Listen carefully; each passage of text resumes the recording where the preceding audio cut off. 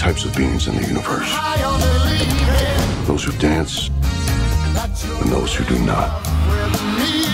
I get it, yes. I am a dancer, Gamora is not. You just need to find a woman who is pathetic, like you. Thanks, buddy. Do you need a hug? No, no, I do not. Oh, I thought I said no.